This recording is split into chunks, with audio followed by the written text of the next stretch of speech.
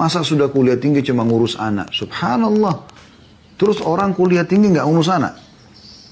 Justru kewajiban utama urus anak, bukan kuliah. Bukan kerjaan prestasi dunia, bukan. Terutama bagi wanita.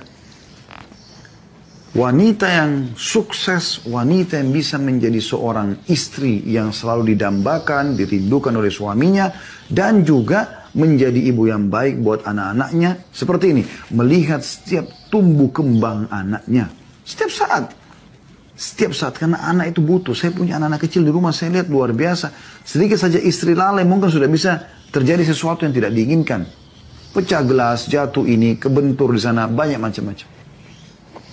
Memang harus ekstra. Kalau ibu sibuk di luar rumah, bagaimana caranya bisa mengurus anak-anak ini? Lalu siapa yang akan mengurus mereka? Kita berharap pembantu, berarti akan seperti akhlaknya pembantu itu. Bukan seperti apa yang Anda harapkan.